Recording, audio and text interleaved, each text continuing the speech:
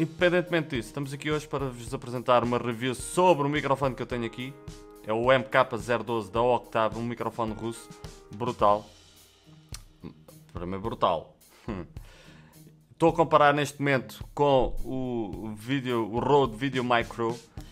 Depois vou trazer para aqui BM800, microfone chinês super barato. Um Shure com 20 anos, é o Shure 10A, microfone dinâmico. Vale a pena, não vale a pena? Pá, digam-me aí nos comentários, efetivamente, que ainda posso devolver este microfone, se consigo, se consigo tirar o melhor som do microfone ou não. E espero que gostem.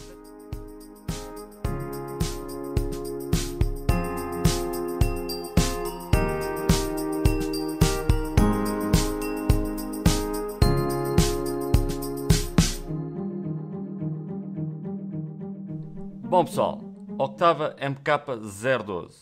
Isto é um microfone Pencil Microphone. É um microfone assim, como vocês podem estar a ver no B-roll. O que é que traz dentro da caixa? Traz dentro da caixa um shock mount, não é shock mount nenhum, é só na prática só para prender o microfone.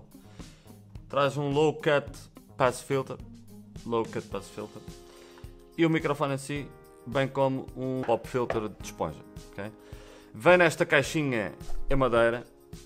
Pá, super, super fixe, super cool.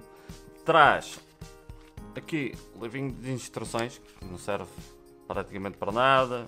Não tem em português, tem em inglês e alemão. Como utilizar o microfone e tudo mais. Depois, super interessante, a frequência, as frequências do microfone. Este microfone é para quê? Este microfone é para gravação interna de estúdio.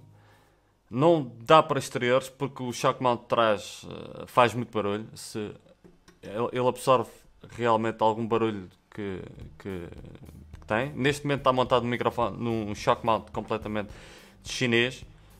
uh, isto é um microfone condensador, okay? é um pencil mic, uma coisinha de 10 cm, 12 cm, 12,8 cm, exatamente, 12,8 cm.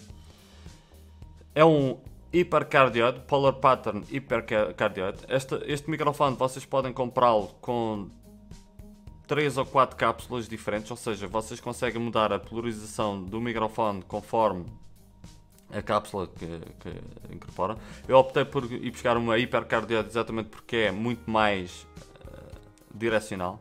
Necessita obrigatoriamente de 48 volts de Phantom Power, ou seja, vocês têm que ligar sempre este microfone a uma placa de, de som externa ok? Por XLR. Neste momento eu tenho ligado a Euphoria 404HD da Behringer. Este microfone é todo em metal, tem uma qualidade de construção bastante boa. A única coisa que eu não gostei foi do shock mount que absorve todo tipo de, de barulho, ok? De, de, ruído. Qualidade de construção e, e apresentação. Pá, fantástico. Como podem ver aqui, traz tudo. Caixinha de madeira, todo em metal. Uh, a realidade é esta: este Octava já existe no mercado há muitos anos e continua a ser um excelente microfone. Ou seja, para este tipo de situações, provavelmente não há nada que bata. Pessoal, vamos fazer agora comparações entre com o BM800 e o Shure 10A, ok? Pá, são dois microfones. Este aqui, 75 dólares, hum, foi o que eu paguei na altura. Este aqui custa 30 euros, entre 15 a 30 euros. Consegues encontrar este microfone para aí entre 15 a 30 euros. Depois digam-me aí nos comentários qual é o que gosta mais, ok pessoal?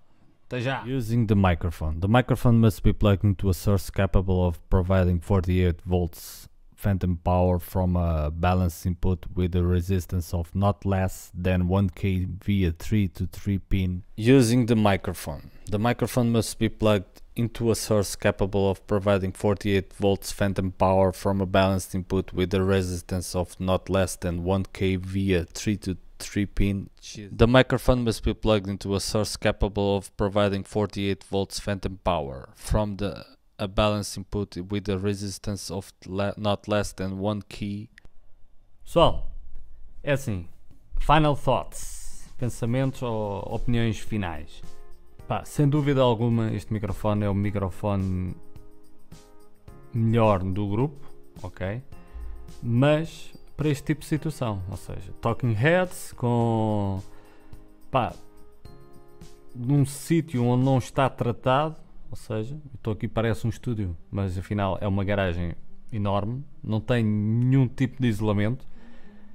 O que acontece é, tenho aqui uma luz que é algo ruidosa e poderá apanhar um bocadinho, é verdade, mas dá perfeitamente para eliminar essa frequência da, da, da luz e conseguir um bom, um bom som.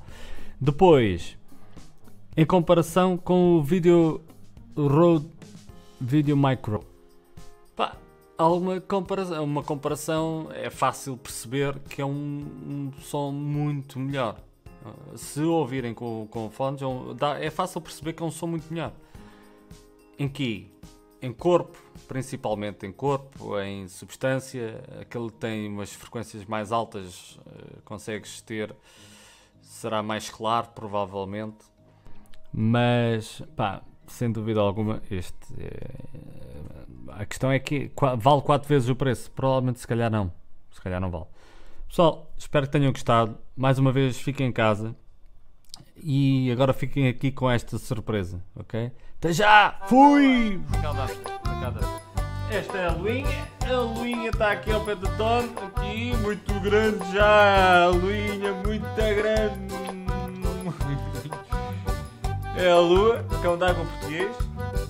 E agora vou-vos apresentar com o novo membro da nossa família, porque sim, tinha dois, como vos tinha mostrado num vídeo há um ano, dois anos atrás, e o meu Eddie morreu. E agora está aqui. É o Sancho, malta! É o Sancho Pança! Está aqui o Sanchinho,